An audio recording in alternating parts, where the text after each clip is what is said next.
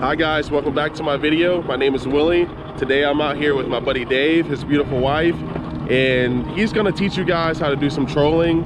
Uh, he's getting rigged up right now. I'm pretty much just gonna give it over to him, let him pretty much give you guys a tip on how to troll properly because I don't know how to. I've been trying to learn from him for a little while now. So I'm gonna pretty much just give him the camera, let him do his thing, and see if we can catch some fish. Stay tuned.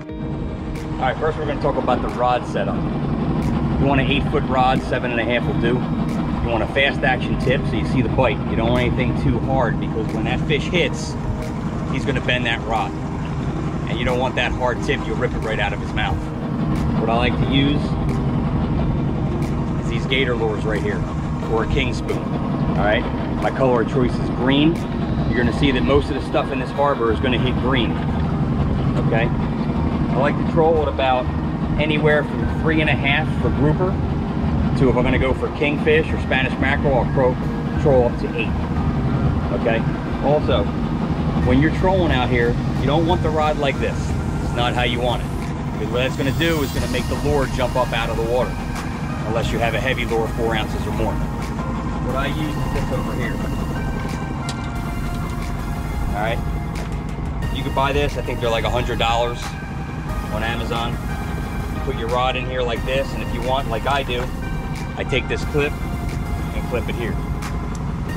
We're gonna show you what the setup is like as we're moving. All right, first step is putting them out.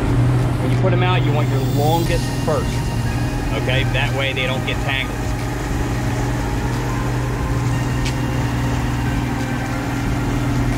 I count to about five. Put the bail.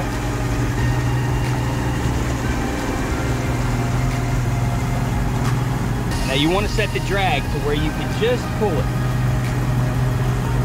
Like that. Sweet.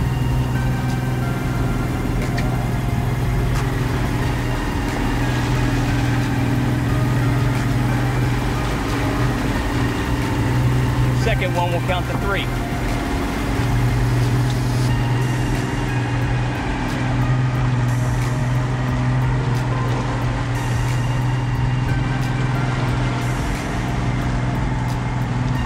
And you don't have to clip them, but I like to clip them just in case the fish runs this way and I'm not seeing it.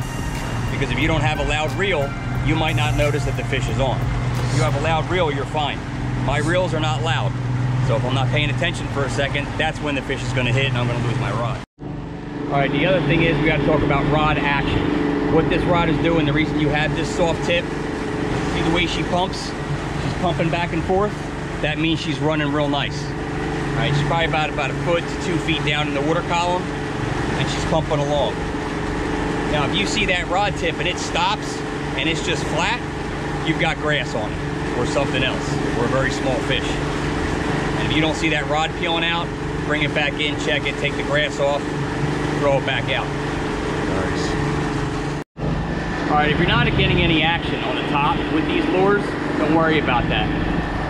These X-Raps right here from Rapala, I love these things. Now, I usually go with green or blue, anything to imitate a small mackerel. They seem to love it. Cobia will grab it, Jacks, Spanish mackerel will grab it as well. So put these down, and you want to put these about 50, maybe 50 feet behind the boat. Even 100 feet is okay. You want to run these a little slower though, around five knots. That way they'll stay down. And that way you're covering both sets of the water column. You got your top, you got your bottom, and you should get action on one of them. Could you troll with the spoon and the, the plug at the same time? Yeah, you want the plug closer to the boat than the spoons. Gotcha. Okay. Yeah, Sweet. you want to run slower with the spoon though. I mean with the plug.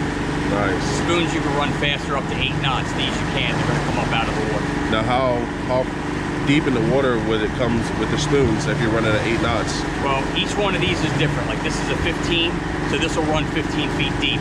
You can get 10, you can get 20. But we're in the harbor in around 12 feet of water. And that's all you need.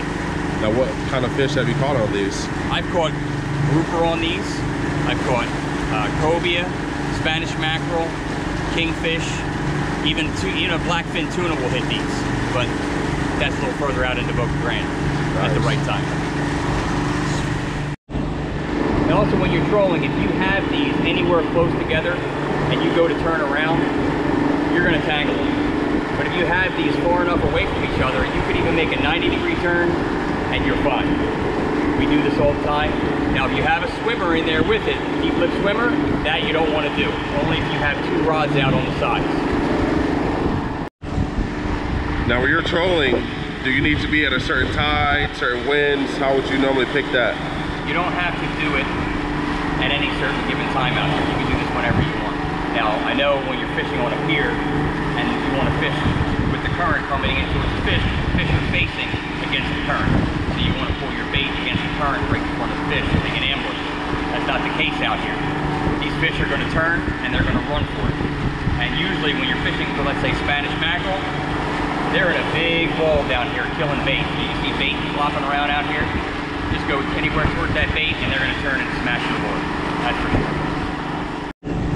Now, when you're trolling, what type of line do you typically like to use when you're trolling? When I'm out here in the harbor, I'll use anywhere from 20 to 40. 20 is the best, obviously, so they can't see it.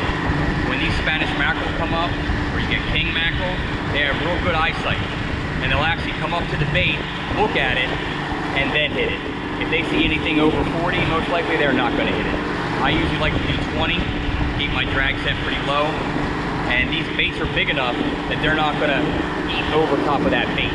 Now, if you run through a school of mackerel, you might even get cut off where your braid is. That has happened to me plenty of times. Now, what at what point would you want to use maybe wire leader or something like that for trolling, or do you not use that for trolling? I don't use wire leader for Spanish mackerel. I'll use it for kingfish because they will bite you off.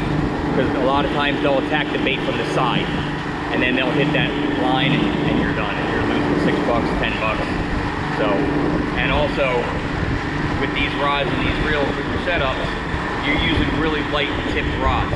So when they hit it, they hit it hard and it pulls really fast. So you don't want a real heavy monofilament or a heavy leader because you can break the tip of your rod. Well, you don't want that.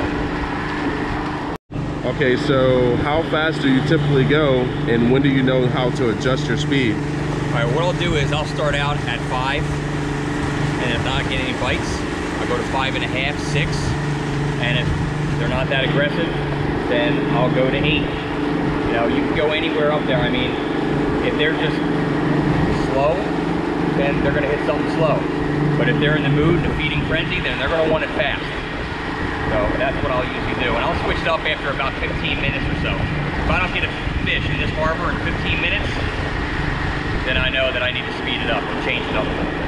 Now, would you completely change your lures, or No, I won't change the lure at all. I'll just change the speed. That's really all that matters. gotcha? Okay, that And like I said, you can also use the diving lure. So if you're using your two out out to the sides and use your one diving lure because they might not be on top. Like right now, we're just running two on the side. So we're only covering the top of the water column. If I want to see if they're feeding off the bottom, then I'll put my plug on and I'll run down 10 feet.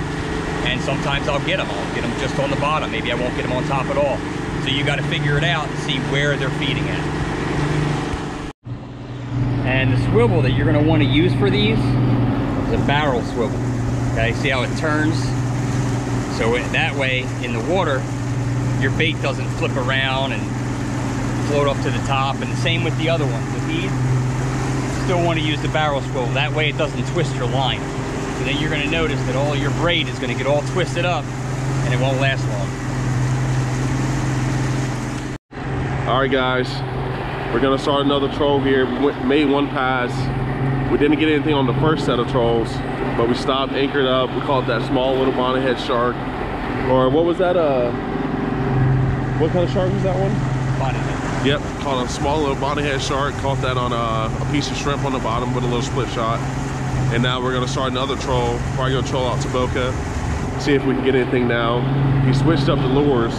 He got a diver on one pole, and then he got his uh, little spoon on the other pole. We're gonna see if we can get on this one. Hopefully we can get something. Guys, stay tuned.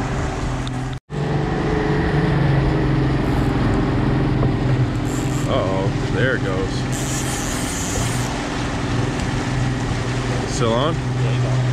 Nice. Heck yeah. What do you think it is? Big mackerel. Oh yeah. That's a nice macro, dude.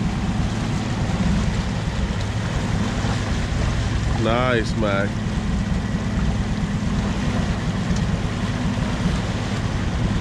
So we know that we're on the bottom. Yep. That's why it's always good to have one on the bottom. That's a big mackerel. Jeez, that's a big mac, dude. Yeah. Nice. That's kingfish size. Heck yeah. And what was that on? Gold spoon? Gold spoon. Nice. Heck yeah.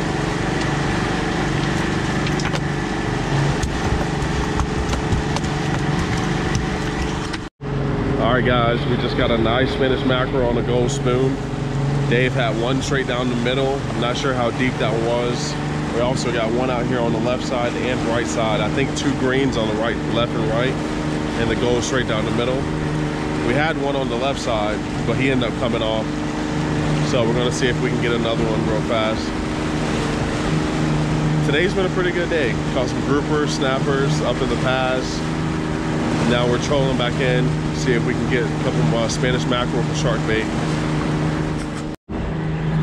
Fish on. Oh yeah, oh yeah. Get him.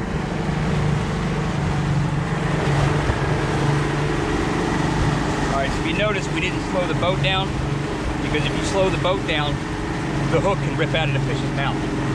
You want to always keep the boat moving. Keep the rod tip high.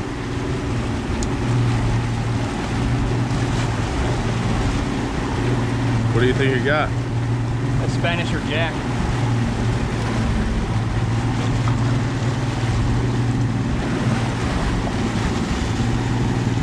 Oh, that's a nice one. Yeah? Oh, it's way back there. Wow. Yeah, he ran good. Good run.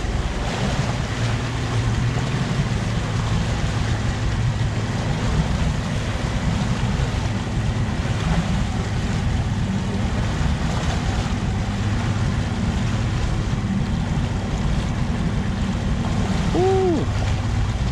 Looking like a big old jack. Yep, Jack. No, No, Mac. Big Mac. Two of them. Two? Is that no, two? That's, no, that's, that's a big mac. Is that one or two? That's, that's one. Oh my gosh, dude. A monster. That is huge, bro. Oh my gosh.